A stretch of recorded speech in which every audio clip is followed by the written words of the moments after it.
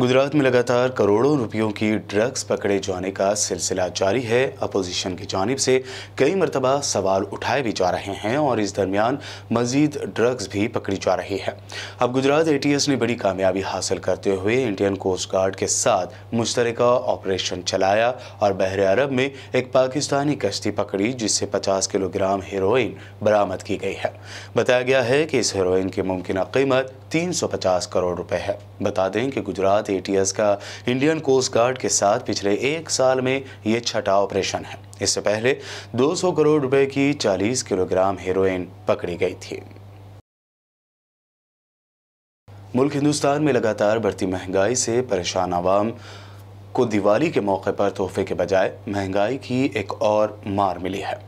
CNG और PNG की कीमतों में इजाफे से फिर एक मरतबा रोज़मर्रा की चीज़ें भी महँगी हो जाएँगी।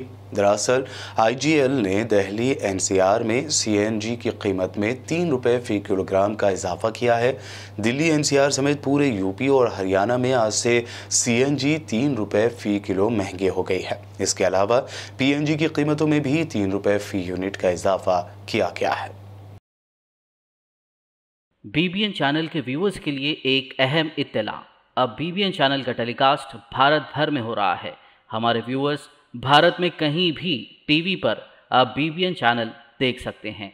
स्क्रीन पर बीबीएन चैनल की टेलीकास्ट डिटेल्स दस्तियाब हैं। इसके अलावा भारत भर में किसी भी एरिया में अगर आप बीबीएन चैनल देखना चाहते हैं तो आप अपने केबल ऑपरेटर को इसके लिए कह सकते हैं।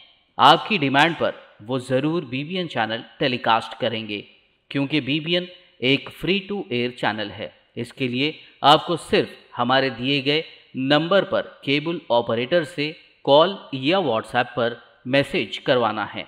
हम आपके केबल ऑपरेटर तक बीबीएन चैनल पहुँचा देंगे, जिससे वो आपके एरिया में टेलीकास्ट कर सकते हैं।